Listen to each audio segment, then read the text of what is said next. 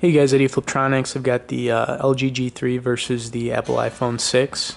Um, you know, both these phones have really nice designs. Uh, the LG G3 has the metal-like design, but it's really just plastic, and the iPhone 6 has the aluminum uh, stainless steel, um, which I actually really like. Um, with all these reports of the phone bending and everything, I haven't really seen um, any reason why it would bend, but I haven't really been that hard with it at the same time.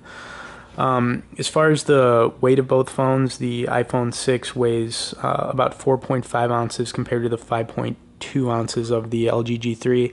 Going to be a little bit of a weight difference, but really nothing uh, serious there.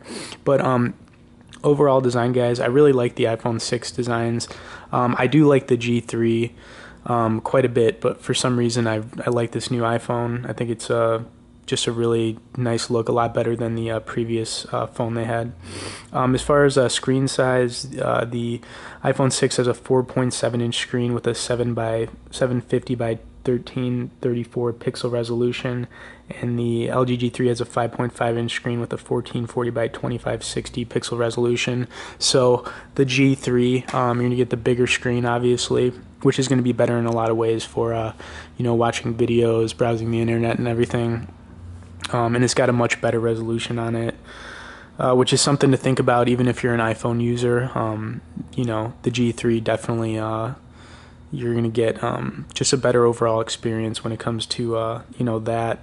Camera-wise, the G3 also has a better camera on it, a 13 megapixel uh, back camera with a 2.1 front-facing camera. It's got the dual LED flash and the iPhone 6 has an 8 megapixel back camera with a 1.2 front facing camera, and it also has dual LED flash. Uh, both these phones have um, some really nice uh, features as far as actually taking the pictures with the image stabilization and everything else that it can do.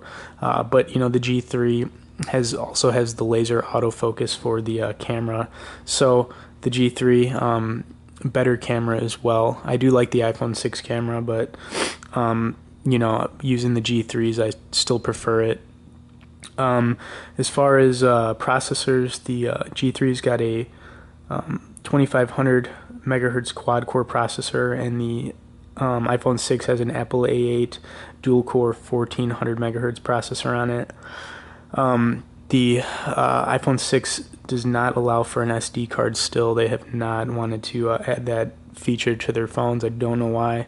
The G3 does up to 128 gigabytes, um, and it's going to be a faster phone. Um, going to be doing some speed tests with both phones, but for the most part, I would have to say the G3 is going to be a faster phone, considering that it's got a quad core processor on it. Uh, the iPhone 6, um, you know, still pretty fast, but we'll see how the speed tests go. And then as far as battery life, um, the uh, iPhone 6, you're probably going to get, you know, around 14 hours talk time, which is pretty low. The phone is bigger, obviously, but um, than their previous uh, phones, but uh, battery life's not going to be that good. I've already experienced some bad battery life on it, to tell you the truth, and I don't have that much uh, running on the phone. And then the G3 3000 mAh built-in battery, uh, probably get around 20 hours to actual talk time on it um, which is you know really good, I would say for sure.